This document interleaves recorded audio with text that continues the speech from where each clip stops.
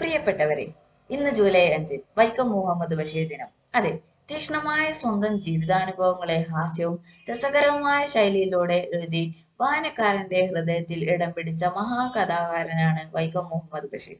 തന്റെ ജീവിതം സാഹിത്യമാക്കിയ ഈ മഹാമനുഷ്യൻ നീണ്ട ഒൻപത് വർഷക്കാലമാണ് ലോകം ചുറ്റി സഞ്ചരിച്ചത്. സന്യാസിമാരുടെയും സൂഫി പര്യന്മാരുടെയും കൂടെ ജീവിച്ചു. പാചകക്കാരനായും മാജിക്കുകാരനായും ജോലിയെടുത്തു. ഉത്തരേന്ത്യ മുതൽ അറബി നാടുകളിലും ആഫ്രിക്ക വരെയും എത്തിയ അദ്ദേഹത്തിന്റെ സഞ്ചാരത്തിനിടക്ക് കെട്ടാത്ത വേഷങ്ങൾ ഇനി ഇല്ലെന്ന് തന്നെ പറയാം.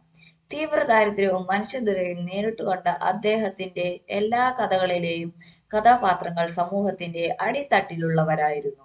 ഹാസ്യം കൊണ്ട് ചിരിപ്പിക്കുകയും ചിന്തിപ്പിക്കുകയും ചെയ്ത ഈ മഹാകഥാകാരന് ബേപ്പൂർ സുൽത്താൻ എന്നാണ് പിന്നീട് അറിയപ്പെട്ടത്.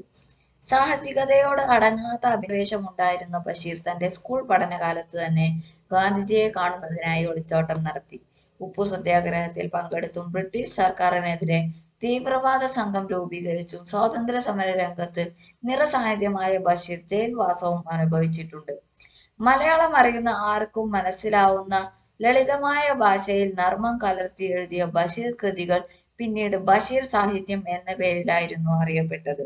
കുറച്ച് എഴുതുകയും ഏറ്റവും കൂടുതൽ വായിക്കപ്പെടുകയും ചെയ്യപ്പെട്ട അദ്ദേഹത്തിന്റെ ജനകീയ കൃതികളിൽ ബഷീറിന്റെ ലോകം തന്നെയാണ് വരച്ചു കാട്ടപ്പെട്ടിട്ടുള്ളത്. പത്മശ്രീ പുരസ്കാരം കേന്ദ്ര സാഹിത്യ അക്കാദമി ഫെലോഷിപ്പ് കേരള സാഹിത്യ അക്കാദമി ഫെലോഷിപ്പ് തുടങ്ങി നിരവധി പുരസ്കാരങ്ങൾ ബഷീറിനെ തേടിയെത്തിയിട്ടുണ്ട്. ഈ ദിനത്തിൽ ബഷീർ തുറന്നു വെച്ച സാഹിത്യത്തിന്റെ ഒരു മായ പ്രപഞ്ചത്തിലേക്ക് ഒരിക്കൽ കൂടി കടന്നു ചെല്ലാം. ഏവർക്കും ബഷീർ ദിനാശംസകൾ.